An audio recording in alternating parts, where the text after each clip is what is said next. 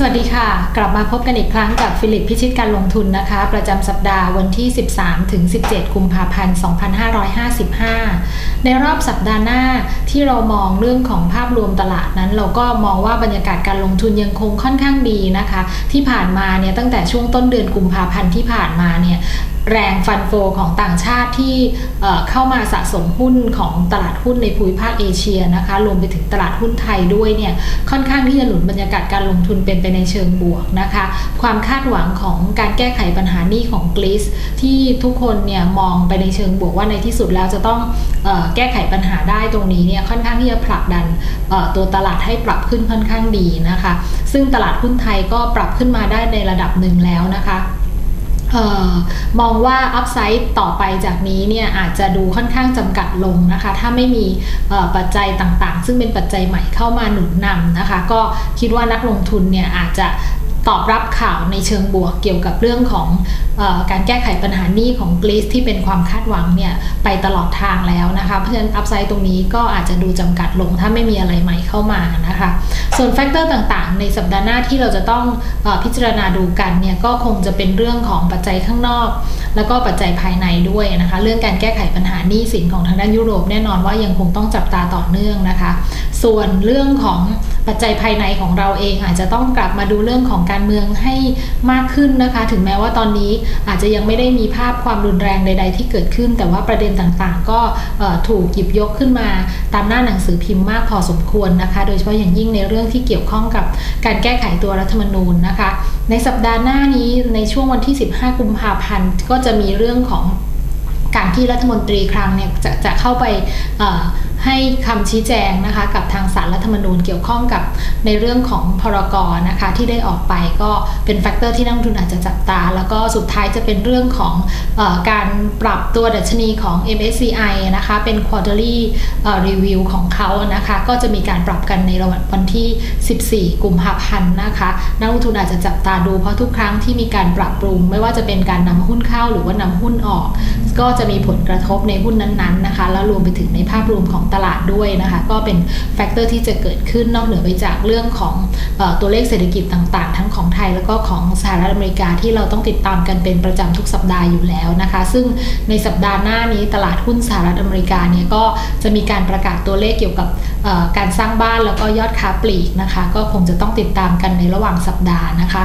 เเนื่องจากเรามองว่ากรอบการเคลื่อนไหวของดัชนีเนี่ยอาจจะไม่ได้ขยับไป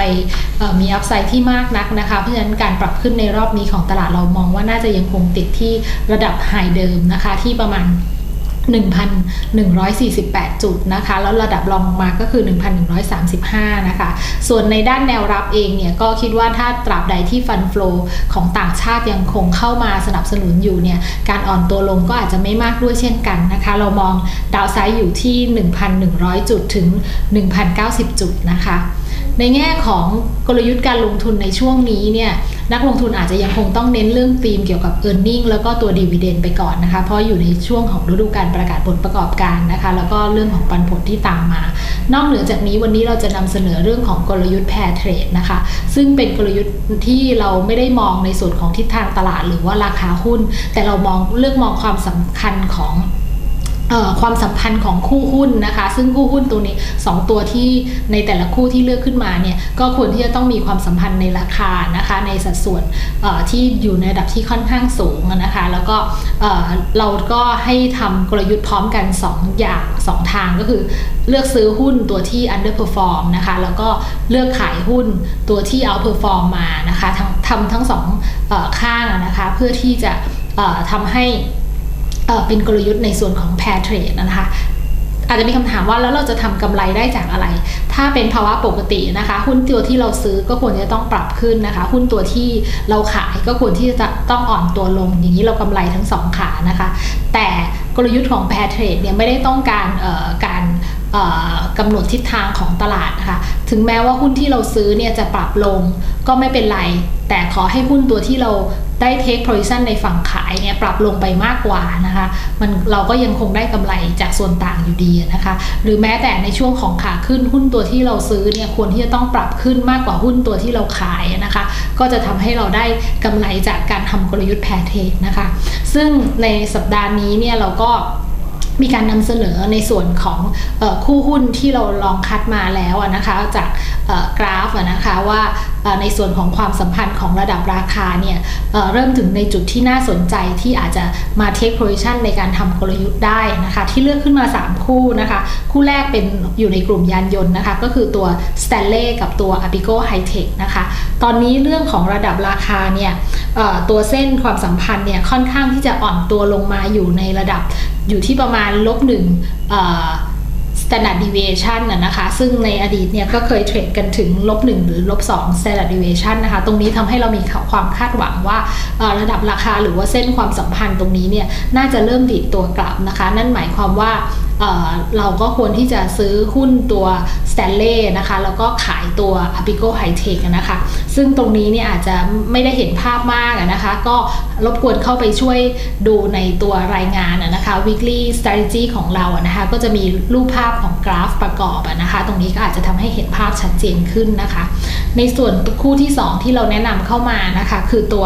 HANA กับ Delta นะคะ 2 ตัวนี้ความสัมพันธ์ค่อนข้างคล้าย ๆ กับคู่แรกนะคะ ก็คือเเอาตัวราคาของ HANA ตั้งแล้วก็หารด้วยราคาของ Delta เนี่ยตัวเส้นความสัมพันธ์ค่อนข้างลงไป